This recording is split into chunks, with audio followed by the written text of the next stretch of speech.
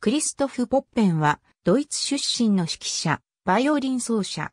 ノルトベストファーレン州ミュンスター生まれ。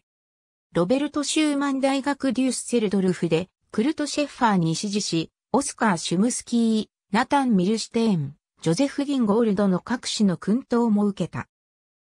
1970年のヤロスラフ、コチアイ国際バイオリンコンクールで優勝するなど、バイオリニストとして早熟ぶりを見せている。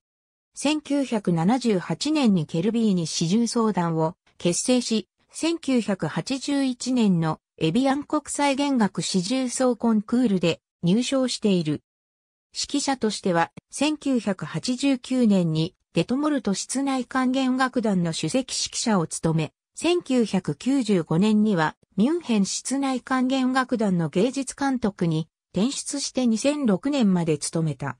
2007年から2011年までザールブリュッケン・カイザースラウテルン、ドイツ放送フィルハーモニー管弦楽団の首席指揮者を務めた。教職者としては1988年からデトモルト音楽院でバイオリンと室内楽を教え、1995年にハンス・アイスラー音楽大学ベルリンに転出。